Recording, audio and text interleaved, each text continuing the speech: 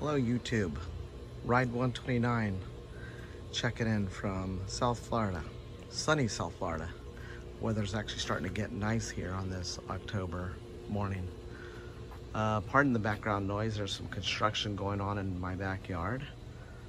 And I got a pool pump running, so hopefully that's not interfering with this quality. And I was in the dentist this morning I've got Novocaine. So probably not the best day to make a video, but this is gonna be short and sweet. And it talks about this guy right here, the sliding cargo tray. That's a factory Toyota option.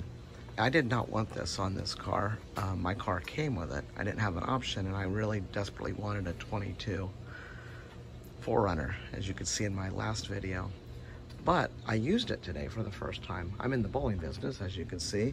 I have 150 pounds of bowling balls here, and it was actually really nice to stand at the back and be able to put the bowling balls there.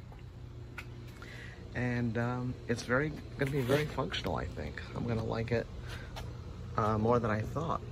It's got really nice tie down spots here, as you can see. Um, very, very typical Toyota built to the last through just about anything you throw at it. The only time I don't think it'd be nice is if you had the seats folded down. Then it would stick up just a little bit and you couldn't put a mattress there, I think. I don't know. But then when you slide it apart, again, 150 bowling balls, 150 pounds of bowling balls, and it's just a simple operation, locks in place. Of course, it's not nearly loaded to capacity.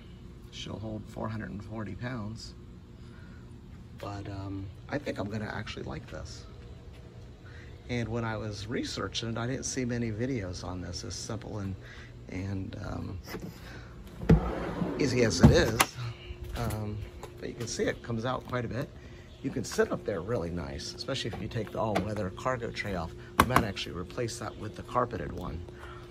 But it's kind of a, a neat thing. I don't know what you guys think, but I'm gonna use it. I don't have a choice because if you go to take them out, I, I already got underneath the car. It's quite an operation. This isn't something you take out in 30 minutes. I also want to show if I get up there a little bit behind it, you can, it's two stages too where you can click it. But this guy right here comes up for some storage, which is a nice feature. And of course the tie down rings that are standard on all models.